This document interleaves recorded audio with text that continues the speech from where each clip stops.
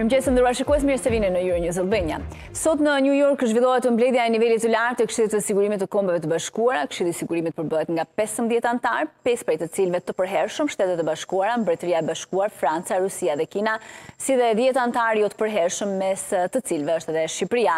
Në seancën e sotme që konsiderohet ndër më të rëndësishmet që nga nisja e luftës në Ukrainë, do të jetë i pranishëm dhe presidenti i Ukrainës Volodymyr Zelensky. Mbledhja e sotme drejtohet nga Shqipëria, e cila është kryesuese e saj gjatë këtij muaji.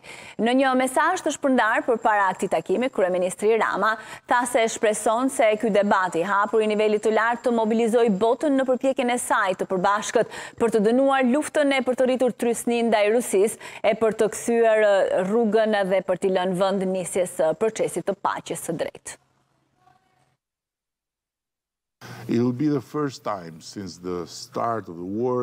Do të jetë hera e parë që prej fillimit të luftës që Presidenti Zelensky do të jetë në Kombet e Bashkuara dhe në Këshillin e Sigurimit. Shpresoj që ky debat i hapur i nivelit të lartë të mobilizojë botën në përpjekjet e saj të përbashkëta për të dënuar luftën e për të rritur trysninë ndaj Rusisë, për të kthyer rrugë dhe për t'i lënë vend nisjes së procesit të paqes së drejtë. Duke qenë se vijmë nga një rajon ku lufta ka shkaktuar vuajtje të pamasë, Jemi mjaft të ndërgjegjshëm për vlerën e paqes dhe përpjekjet monumentale që duhen për arritjen e mbi të gjitha për ruajtjen e saj. Karta e Kombeve të Bashkuara dhe e drejta ndërkombëtare shtrojnë themelet e asaj çka quajmë siguri njerëzore.